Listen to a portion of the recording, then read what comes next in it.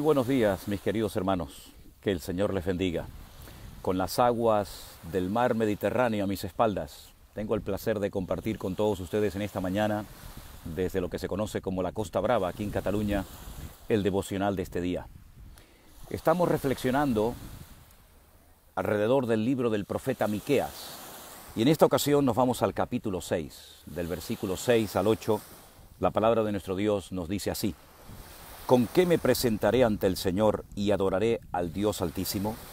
¿Me presentaré ante Él con holocaustos y con becerros de un año? ¿Se agradará Dios de millares de carneros o de diez mil arroyos de aceite? ¿Daré mi primogénito por mi rebelión, el fruto de mis entrañas por el pecado de mi alma? Oh hombre, Él te ha declarado lo que es bueno. ¿Y qué es lo que pide el Señor de ti? Solamente hacer justicia, amar misericordia y humillarte ante tu Dios. Pues este mar Mediterráneo aparece en la Biblia. Fue en este mar donde el apóstol Pablo navegó en varias ocasiones, tratando de llevar el Evangelio a lugares donde nunca nadie jamás había ido con el mensaje de Cristo. Las aguas de este mar Mediterráneo fueron las que cruzaba Jonás, huyendo o intentando huir de la presencia del Señor. En fin, muchas historias podríamos contar que se llevaron a cabo en estas aguas. Estamos a este lado, en la costa catalana del mar Mediterráneo, al otro lado, digamos, estaría Israel, la ciudad de Haifa, la ciudad de Jaffa, la ciudad de Tel Aviv, etcétera, ¿verdad? Incluido, por supuesto, Cesarea.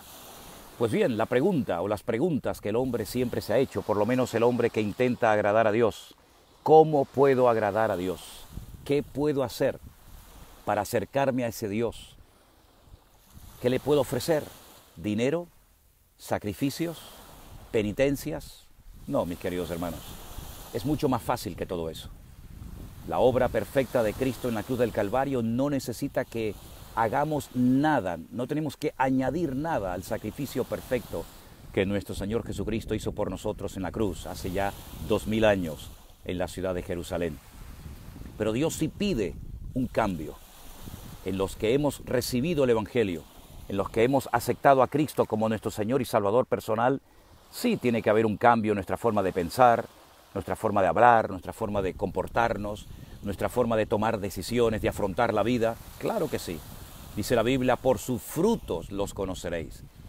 Al hombre siempre le ha gustado hacer todo tipo de esfuerzos, de sacrificios, incluso como hemos leído en esta mañana en las páginas del profeta Miqueas, algunos pasaban a sus hijos por el fuego, presentando a sus dioses, dioses de piedra, de madera, de oro o de lo que sea, presentaban sus dioses, sus sacrificios, sus holocaustos, pero Dios no pide sacrificios por nuestra parte. Dios busca que le amemos, Dios busca obediencia total y absoluta. Es mucho más fácil presentar un sacrificio que obedecer a Dios. Es mucho más fácil hacer cosas que aceptar lo que el Señor ha hecho por todos y por cada uno de nosotros.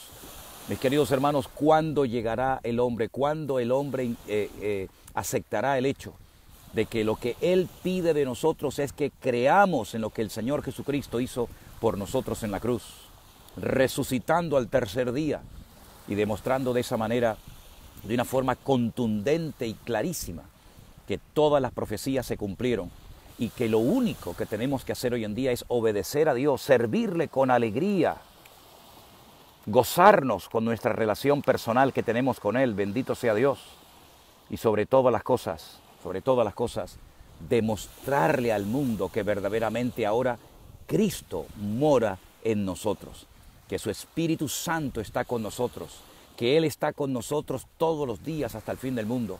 Basta ya de sacrificios, basta ya de inventarnos un cristianismo paralelo al de las Sagradas Escrituras, basta ya de añadir cosas que el Señor jamás pidió que hiciéramos. El Señor lo que quiere, ya digo, es obediencia absoluta, que no dudemos de Él, que le ofrezcamos nuestra vida como sacrificios vivos, santos y agradables a nuestro Dios, que es, dicho sea de paso, nuestro culto racional. ¿Con qué podré presentarme yo hoy delante de Dios? Mira, con tu vida, con tu sencillez, con tu humildad, tal y como tú eres, aceptando la obra que Cristo ha hecho por ti, pidiéndole perdón por los pecados que has cometido, arrepintiéndote de todo corazón y siguiéndole y obedeciéndole fielmente todos los días de tu vida. Y punto. Y no le amarguemos, ni le compliquemos, ni carguemos a la gente con cosas innecesarias. Como decía ayer en el Pastor Online, transmitido también desde esta costa, esta costa brava aquí en Cataluña, queridos hermanos, disfrutemos de la vida cristiana. O somos o no somos salvos. O hemos nacido o no hemos nacido de nuevo. No hay término medio. O estás o no estás, o entras o sales. O estás conmigo o estás contra mí. Si estás con Cristo, si estás en Él, si Él es tu Señor y Salvador, no te estés agobiando ni preocupando por hacer y hacer y hacer y hacer cosas. ¿Se acuerdan cuando aquel carcelero en la ciudad de Filipo, en medio de un terremoto, donde estaba Pablo y Silas cantando a medianoche al Señor, pues dijo, señores, ¿qué debo de hacer para ser salvo? Y Pablo no le dijo, tienes que hacer esto y esto y aquello, diezmos, ofrendas, primicias, sacrificio, penitencias, no. Cree, cree solamente en el Señor Jesucristo. Hemos creído, hemos aceptado el Evangelio, le hemos entregado nuestra vida al Señor. Ahora lo que tenemos que hacer es vivir conforme a las enseñanzas, a los principios, a las pautas que Él ha dejado claramente escritas en su bendita y preciosa palabra. Basta ya de eh, obedecer a mandamientos de hombres. Basta ya de inventarnos cosas y de hacer cosas que Dios no ha pedido. Sí, que forman parte de la tradición, que forman parte de la liturgia, liturgia inventada por los hombres. Pero el Evangelio es libertad, el Evangelio es paz, el Evangelio es gozo. Disfrutemos de nuestra comunión con el Señor. Dice aquí, hacer justicia, amar misericordia, humillarte ante Dios. Y ya está. Y no nos compliquemos la vida, mis queridos hermanos. El camino está abierto. La salvación se ofrece gratuitamente porque Él pagó el precio. No porque sea gratuita, sino porque Él pagó un altísimo precio para que tú y yo vivamos de gloria en gloria, de victoria en victoria, de bendición en bendición y de triunfo en triunfo. Así que mis queridos hermanos, ¿qué les parece si oramos en esta mañana y pedimos que el Señor hoy nos ayude, como dice aquí, a hacer justicia, amar misericordia, a humillarnos ante Dios y disfrutar de nuestra comunión con el Señor, que es lo más hermoso que puede, que puede tener un ser humano en esta vida. Ahí donde estás, si quieres, con el ruido de estas olas del mar Mediterráneo aquí en Cataluña, oramos a nuestro Dios y pedimos su bendición. Bendito Padre Celestial, muchísimas gracias Dios mío en esta mañana por este privilegio tan maravilloso que nos das de poder empezar el día contigo, con tu ayuda, con tu bendición.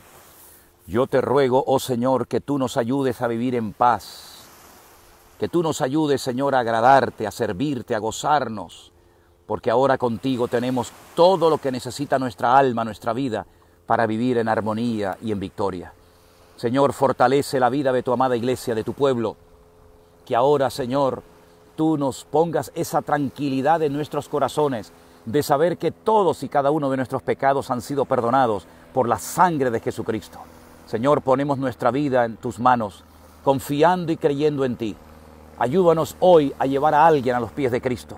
Ayúdanos hoy a llevar paz, esperanza, consuelo, aliento, ánimo a tanta gente desesperada que no saben ya dónde ir ni a quién creer. Oh Dios, gracias porque tú has muerto por nosotros y has resucitado al tercer día y tú has cumplido todas las profecías de tu palabra para que tu iglesia viva en paz y en victoria. Ponemos nuestra vida y este día en tus benditas manos, en el precioso nombre de nuestro Señor Jesucristo. Amén y amén. Mis queridos hermanos, que el Señor les bendiga muy, muy grandemente. Este es el día que el Señor ha creado y nos ha regalado para que nos gocemos y nos deleitemos en Él. Gracias a todos los que están orando por nosotros para que este viaje misionero siga siendo de tremenda bendición como lo está haciendo. Que Dios les bendiga, cuídense, disfruten de su comunión con el Señor y seguimos adelante sirviéndole con alegría. Bendiciones para todos ustedes, mis queridos hermanos, en este día.